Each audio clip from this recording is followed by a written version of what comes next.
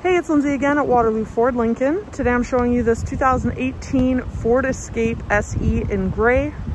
This Escape has the 1.5 liter four cylinder EcoBoost engine with automatic transmission and, and front wheel drive. Uh, this SUV does have halogen headlights with fog lamps as well as alloy wheels. Seats a total of five passengers with two in the front, three in the back. You do have keyless entry as well as roof rails up top. Around the back end, you do have a reverse camera, reverse sensors, as well as rear defrost and a rear wiper blade. Obviously not to be able to cover everything about this SUV in the short video, so if you have any further questions, please get in touch at waterlooford.com or come stop by our dealership at 11420 107th Ave Northwest in Edmonton, Alberta. In the meantime, to stay up to date, make sure you like us on Facebook, follow us on Instagram and Twitter, and subscribe to our YouTube channel. Now let's take a look inside. Sitting inside the Escape here, going to do a quick run through of some of the features as well as go over the interior layout. Starting on the door panel, you have your door latch here with your power locks. Down below are your power windows and your power mirrors, which are heated.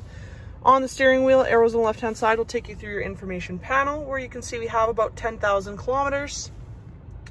Just below is your cruise control settings with audio and hands-free over on the right. Into the middle, you have your display screen up top, which shows the external temperature as well as time and radio information. Uh, this vehicle does give you AM, FM radio as well as satellite radio. Also have a CD player with USB Bluetooth connectivity.